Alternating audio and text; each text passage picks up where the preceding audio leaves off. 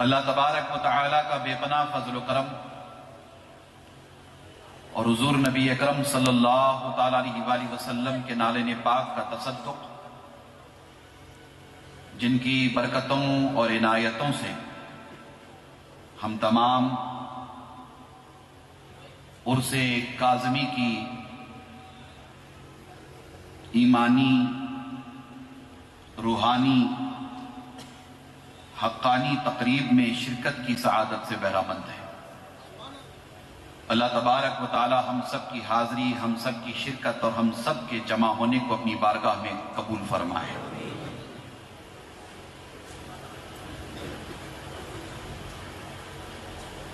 मुझसे कबल आपने एक से बढ़कर एक, खूब से खूब तर खिताबात समात करने का शरफ हासिल किया। मैं उन तमाम खतबा की खिदमत में हदिय तबरीक पेश करूँगा, जिन्होंने बड़ी अकीदत और बड़ी मोहब्बत के साथ साहिब उर्स की बारगाह में खराज अकीदत और मोहब्बत पेश किया है। हज़रत खतीब दकन का पहला सालाना उर्स है।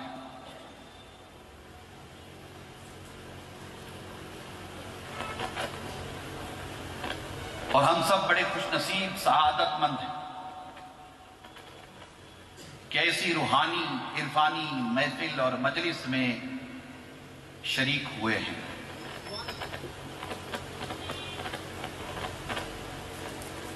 और हम सब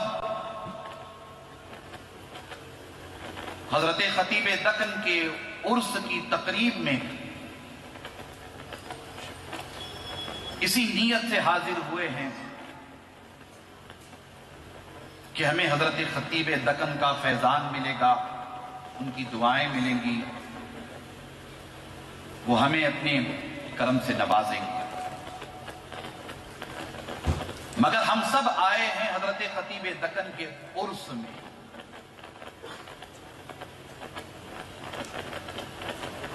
हज़रत खतीब दकन रहमतुल्लाह ताला न जाने अपनी ज़िंदगी में कितने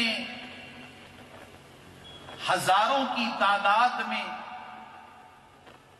औलिया कराम के आरास, यानी औलिया कराम के उर्स की तकरीबात में शरीक होते रहे और वहाँ जलील कद्र खिताब से, शानदार खिताब से सामईन को सरफराज करते रहे।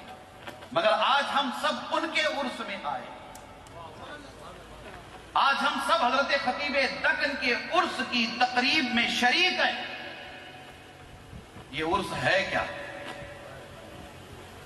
ये उर्स है क्या? बड़ी तफसील में गए बगैर बस यही अर्ज़ करना चाहूँगा, पुरानी आयात हो, अहादीस हो उन सबको सामने रख करके मैं अपनी बात बड़ी तेज़ी के साथ आगे बढ़ाकर इख्तिताम की जानब ले जाऊँगा कि ये उर्स दर असल साहिब उर्स को दुल्हा बनाने की तकरीब है। ये उर्स दर असल साहिब उर्स को दुल्हा बनाने की तकरीब है। हर मरने वाले का उर्स नहीं मनाया जाता। उर्स उस हस्ती का मनाया जाता है जो अपने महबूब से मुलाकात करता उर्स उस जात का मनाया जाता है जो दुनिया को खैर बात करके अपने महबूब का दीदार करता है। आज का दिन हज़रत खतीब दकन के विसाल का दिन है, यानी आज का दिन हज़रत खतीब दकन का उर्स का दिन है। ये दिन इनके लिए उर्स का दिन इसलिए है कि आज के दिन वो इस दुनिया से चलकर बरजक की दुनिया में पहुँचे और मुस्तफ़ा जाने रहमत का दीदार फरमाया। जिस दिन कब्र में हुजूर का दीदार नसीब होता है, उस दिन को बोलिए बोलिए उस दिन को उर्स का दिन कहते हैं। उस दिन उर्स का दिन कहते हैं। और जिस दिन मुहिब महबूब से मुलाकात करता है, आशिक माशूक से मुलाकात करता है, फिर आगे बढ़ के कहूँ कि उम्मती नबी से मुलाकात करता है, वो दिन यकीनन उर्स का दिन होगा, और वो दिन हम सब के लिए बड़ी अजमतों वाला दिन है। कि नवासा खुद चल करके अपने नाना से मुलाकात करता होगा। नवासा खुद चल करके अपने नाना से मुलाकात करता होगा और उर्स के दिन की तशरी की जाए तो उसको शादी का दिन भी कहते हैं। शादी का दिन भी कहते हैं। हदीस पाक में चूँकि अल्फाज आए, नौम कनौमतिल है ना? जब हजूर सलाम का दीदार कब्र में नसीब होता है तो फरिश्ते उस बंदे खुदा से कहते हैं कि सो जा। ऐसे सो जा जैसे दुल्हन सोती है। सो जा, ऐसे सो जा जैसे दुल्हन सोती है। सबको पता है कि दुल्हन सोती नहीं है, अपने दुल्हे के इंतज़ार में होती है। बिला तशबी, बिला मिसाल बताया गया कि कब्र में बंदे खुदा से, अहलुल्लाह से, सालेहीन से। यही कहा जाता है कि सो जा, ऐसे सो जा, जैसे दुल्हन सोती है। जरा तस्वुर तो करो कि जिस दिन हज़रत खतीब दकन आलम बरजक में गए, फरिश्ते आए, पहला सवाल किया, दूसरा सवाल किया, फिर तीसरा सवाल हुआ हुजूर नबी अकरम सल्लल्लाहु अलैहि वसल्लम कब्र अनवर में तशरीफ़ लाए। मुस्तफ़ा जान रहमत सल्लल्लाहु अलैहि वसल्लम को देखकर हज़रत खतीब दकन ने एहतरामन हुजूर की बारगाह में सलात सलाम पेश किया और फिर उसके बाद फरिश्तों ने सवाल किया कि इनके बारे में आप क्या कहा करते थे? वलमा तवज्जो करे मशायक तवज्जो करे। इनके बारे में आप क्या कहा करते थे? हुजूर की तरफ़ इशारा करके जब सवाल किया गया कि, ए, बंदे खुदा, इस नूरानी हस्ती के बारे में क्या कहा करते थे? तो खतीब दकन ने यकीनन यही जवाब फरिश्तों को अता किया होगा कि, ए फरिश्तों इस नूरानी हस्ती के बारे में सवाल करते हो कि मैं इनके बारे में क्या कहा करता था? ये वही नूरानी हस्ती है जिनकी शान और अजमत उम्र भर जलसों में बयान किया करता था। ये वही अजीम हस्ती है जिनके फजाइल, जिनके शमाइल, जिनके खजाइल उम्र भर जलसों में बयान किया करता था। ऐ फरिश्तों, इनके बारे में पूछते हो कि ये कौन है? इन्हें देखने के लिए तो दुनिया छोड़ करके यहाँ कब्र में आया। इन्हें देखने के लिए तो दुनिया छोड़ करके कब्र में आया हूँ। तो वो दिन उसी दिन खतीब दकन के लिए बोलिए बोलिए, उर्स का दिन है। तो आज का दिन खतीब दकन के लिए, उर्स का दिन इसलिए है कि आज के दिन आपने मुस्तफ़ा जाने रहमत का दीदार फरमाया। मुस्तफ़ा जान रहमत सल्लल्लाहु अलैहि वसल्लम का चेहरे अनवर देखा। अल्लाह तबारक ताला ने आपको साहिब उर्स बनाया और ऐसी शान से बनाया कि आप आपका रोजा देखो कैसे सजाया गया है। कैसे सजाया गया है। ये मुरीदीन मोतदीन ने बड़ी मोहब्बत के साथ आपके रोज़े को सजाया है। ये हमारी बसीरत है। देख रही है। और बसारत का तकाजा यह है कि इससे भी ज़्यादा रोशनी कब्र अनवर के अंदर है। इससे भी ज़्यादा रोशनी कब्र अनवर के अंदर है। आज कासिम पाशा का उर्स का दिन है। मतलब यह कि आज के दिन इन्हें दुल्हा बनाया गया है। और इनका सहरा नजफ से आया है। इनका सहरा बोलिए। सब मिलकर बोलिए, इनका सहरा नजफ से आया है। तवज्जो करे, इनका सहरा पाशा इनका सहरा नजद से आया है। रंग बगदाद का है और खुशबू अजमेर की है। जालिमों।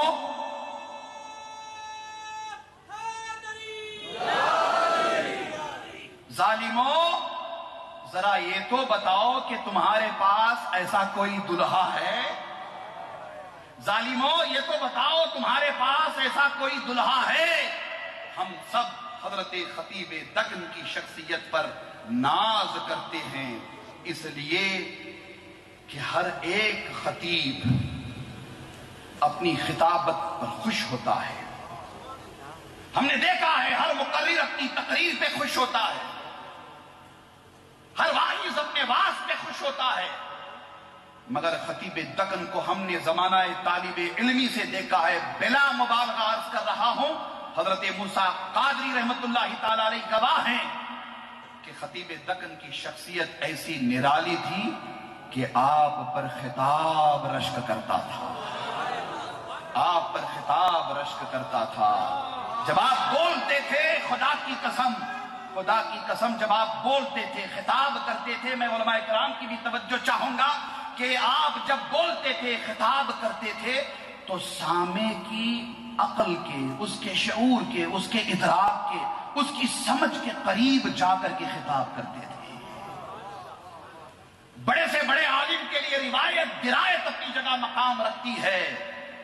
मगर हज़रत खतीब दकन की खिताबत की खसूसियत यह थी कि आपके खिताब में एक तरफ़ इल्म का समंदर नज़र आता था और दूसरी जानब आम फहम अंदाज में इस तरह गुफ्तगु करते थे कि एक अनपढ़ जाहिल आदमी की समझ में भी आपकी बात आ जाए।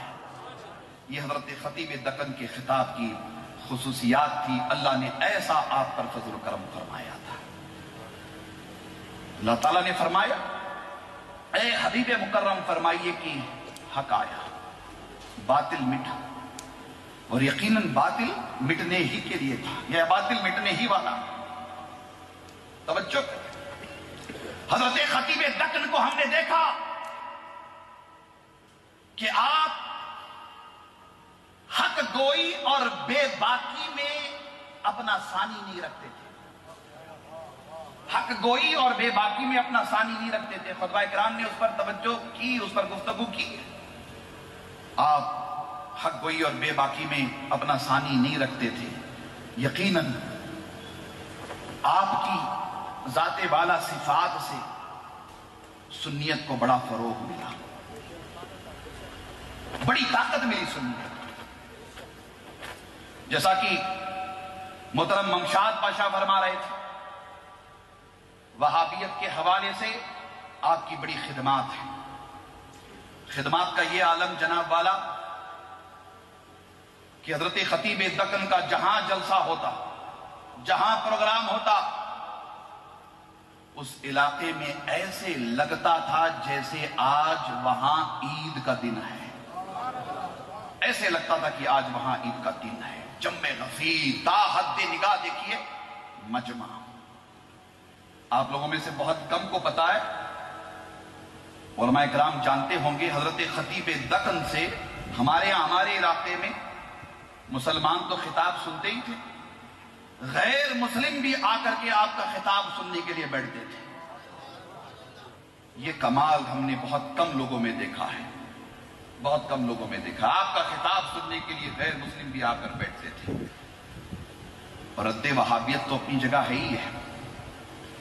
मगर मैं कराम की तवज्जो चाहूँगा मशाइ की भी तवज्जो चाहूँगा कि आज से कमोबेश मैं समझता हूँ कि 25 साल कबल वही हमारा तालब इलमी का ज़माना ख़त्म हुआ था और दीन के काम में लगे हुए थे। 25 साल कबल आपने नासबियत और खारजियत के फितने से मुतलिक पेश गोई फरमाई थी। उस वक्त तो बात हमारी समझ में नहीं आई। उस वक्त तो बात हमारी समझ में नहीं आई। धीरे धीरे हालात जैसे बदलते गए। हम भी बहुत करीब से अहले सुन्नत के अंदर मौजूद इस वायरस को जानने, समझने की हमने कोशिश की। बात देर से समझ में आई, मगर समझ में आई। इसलिए कि घंटों बैठे रहते थे महफिल में मजलिस में तो घंटों बैठे रहते थे। अली पाशा गवाह है हसनैन पाशा शब्बर पाशा ममशाद पाशा। रिजवान पाशा तशीफ नहीं लाए शायद रिजवान पाशा मजलिस में वो भी रहा करते थे। ईशा के बाद रात साढ़े दस ग्यारह साढ़े ग्यारह बजे गुफ्तगु शुरू हो, हो गई। तो समझ लें कि फजर तक ये सिलसिला जारी रहता था। घंटों इन्हीं मौजूद पर गुफ्तगु होती थी। घंटों। और ऐसी, मैं तो अक्सर हज़रत से पूछता था कि हज़रत, ये ये सारी बातें जो आप करते रहते हो, गुफ्तगु करते रहते हो, आपको मुताले का वक्त कब मिलता है? मुताले का वक्त कब मिलता है? किताब आप कब देखते हैं? आप यकीन जाने कि जब रिवायत और दिरायत पर गुफ्तगु करते हैं तो ऐसे महसूस होता है कि रिवायत, दिरायत पर इन्हें कमांड हासिल है। जरा वो तातील पर गुफ्तगु करते हैं तो ऐसे लगता है कि इनका कोई मिसल नहीं मतन पर हाशिए पर गुफ्तगु करते हैं तो ऐसे महसूस होता था कि जैसे इनकी जैसी गहरी नज़र और किसी की नहीं है। रावियों पर गुफ्तगु, हदीस की सेहत पर गुफ्तगु, हदीस के दर्जे पर गुफ्तगु।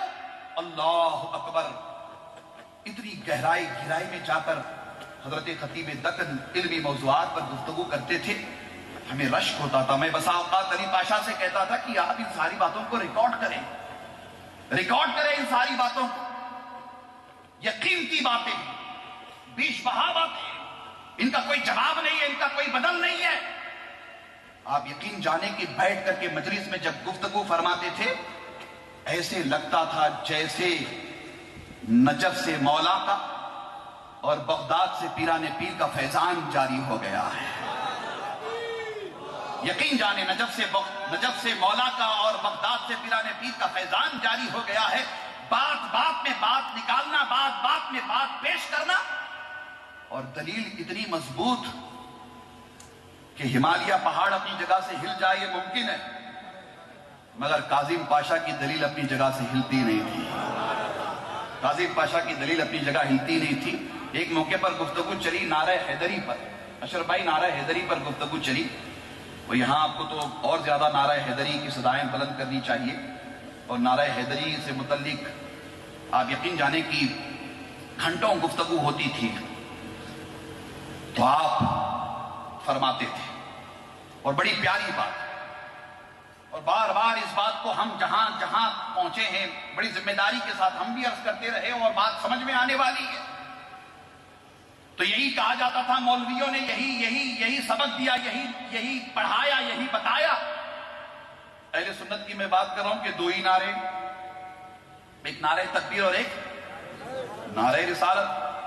बाज मौलवी जो खारजियत और नासबियत के वायरस से मुतासर रहा, वो ये कहता था कि ये नारा हैदरी, आपने ये तीसरा नारा कहाँ से ईजाद किया? ये तीसरा नारा कहाँ से ईजाद किया? बताएँ हम आपको, नारा हैदरी पर गुफ्तगु होती थी, बैठ करके मजलिस में आप गुफ्तगु फरमाते थे, और बड़ी ज़बरदस्त गुफ्तगु, दलाइल बराहिम के साथ गुफ्तगु, उसका माहसल आपको बता रहा हूँ। आप फरमाते थे कि सुनो ये तीसरा नारा नहीं है, नारे हैदरी यही तो असल नारा है।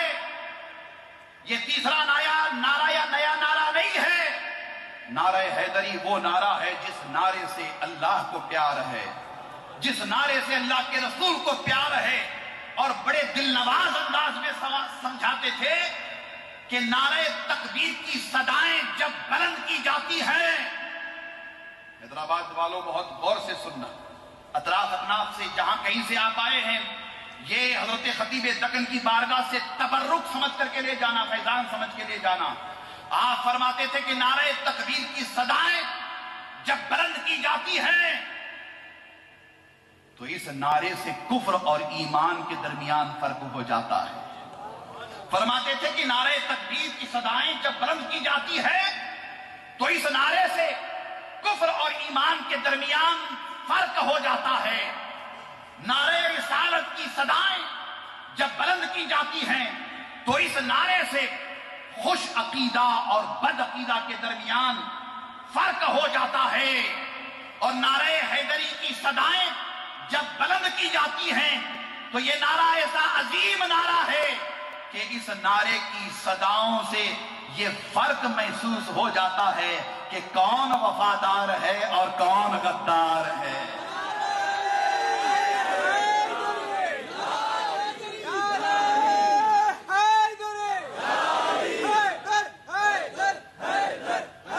सब मिलकर मेरे साथ एक मरतबा नारा हैदरी की सदाएँ बुलंद करें, इसलिए कि ये नारा हैदरी दक्न में खसूसी तौर पर और उमूमी तौर पर पूरे आलम सुन्नत को बहुत ही ज़िम्मेदारी के साथ किसी ने यह नारा लगाने की आदत अवाम अहल सुन्नत को अता की है, समझाया है, बताया है तो वो हज़रत खतीब दकन है। वो हज़रत खतीब दकन है, सब मिलकर मेरे साथ नारे हैदरी की सदाएँ बुलंद करें। नारे है दोनों हाथों को बुलंद करके नारे हैदरी नारे हैदरी नारे हैदरी और मेरा ताल्लुक हज़रत खतीब से इतना मज़बूत था, है और रहेगा कि आज आप जिस अकीदत और मोहब्बत के साथ नारे हैदरी की सदाओं को अपने हाथ बुलंद करके पेश कर रहे हो, यकीनन हज़रत खतीब दकन अपनी कब्र में भी नारे हैदरी की सदाएँ बुलंद कर रहे हैं। अल्लाह अकबर, ये नारा इतना अजीम नारा है, इस नारे को कभी बोलिए छोड़ना नहीं है। हर जगह ये नारा लगाएँगे ना इंशाअल्लाह हर जगह ये नारा आप लगाएँगे, हर जगह इस नारे की सदाएँ आप बुलंद करेंगे। हज़रत खतीब दकन ने हम सबसे बड़ी मोहब्बत फरमाई, बड़ी शफकत फरमाई। और इंडिया उलमा मशाइक बोर्ड के कयाम और फिर उसके अगराज व मकासद और उसकी कारकर्दगी से बेपना मोहब्बत फरमाते थे। खुदा, सूफी कॉन्फ्रेंस में आपने शिरकत की। बड़ा ज़बरदस्त खिताब आपने फरमाया। अशरफ मियाँ को भी बड़ी दुआओं से नवाजते थे। बोर्ड के तमाम जिम्मेदारों को बड़ी दुआओं से नवाजते थे। बहुत खुश रहते थे कि आज़ादी हिंद के बाद कौमी सतह पर अहल सुन्नत व जमात का एक नुमाइंदा बोर्ड वजूद में आया है। बड़ी दुआओं से नवाजते थे। बड़ी दुआओं से। आप यकीन जाने, हज़रत खतीब दकन ने हम सबसे ऐसी मोहब्बत फरमाई, ऐसे नवाज़ थे ऐसी शफकत फरमाते कि आपकी मजलिस में बैठकर आपसे गुफ्तगु करने को हम अपने लिए शर्त महसूस करते थे। बड़ी दुआओं से आप, हम सबको सरफराज फरमाते थे। ये चंद कलीमात थे जो हज़रत खतीब दकन की बारगाह में, आपकी खिदमत में मैंने बतौर अकीदत और मोहब्बत पेश किए हैं। और जितनी बातें मैंने आपसे की हैं, इसमें कोई मुबालगा कोई मुबालगा नहीं कतई तौर पर कोई मुबालगा नहीं है। ना? और नारे हैदरी की बात मैंने आपके सामने पेश की। यकीन जाने, हज़रत हैदर कर्रार के फयूज बरकत और हज़रत हैदर कर्रार का मिजाज आपका रंग और आपका जाहो जलाल, हज़रत खतीब दकन की शख्सियत से ज़ाहिर होता था। हैदर कहते किसे पता है आपको शेर बबर, शेर नहीं, शेर बबर। कहते, किसे? शेर बबर। अल्लाह सब लोग यही जानते हैं कि वहाबियत आपसे बहुत परेशान रहती थी। ये तो मुश्किल काम था, मगर फिर भी आसान, इसलिए कि दुश्मन खुला हुआ है, सब जानते थे।